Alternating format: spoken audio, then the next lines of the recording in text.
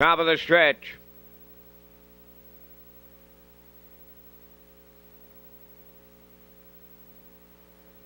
Approaching a start. The rough end pacing up the rail. Savannah's Getway leaving out second to the turn. That's just Lovey. Then in third, Matador's Rose coming fourth. I'll prove it. The Black Pearl into the turn fifth. Racing sixth. That's Opie's Lifeline. Seventh is White Sand Artist. The trailer Shadow Cross Dora. They're en route to the quarter. Savannah's Getway and Miles Heffernan on the early lead from the outside in second as they move over to the opening station and arrive at the quarter. Savannah's Getway leading it. Just Lovey on the outside. Matador's Rose will try to keep the gap closed up third. Off a quarter in 29 flat. Back into fourth is I'll prove it. On the move on the outside. Shadow door Dora fifth. The Black Pearl has six. Opie's racing on the outside is White Sand Artist now seventh.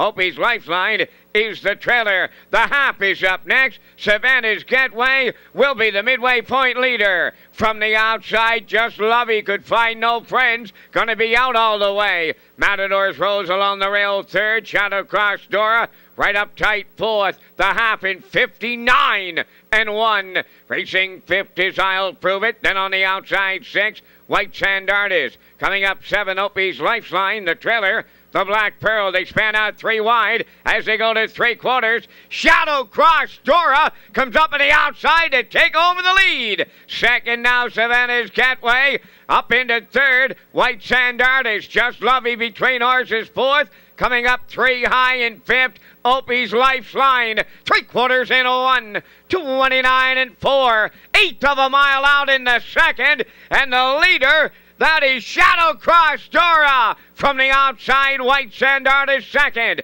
Opie's Lifeline is third. They're in deep stretch now, and White Sand Artist takes over late and goes on to win in line to Neil Bambrick. Opie's Lifeline was second.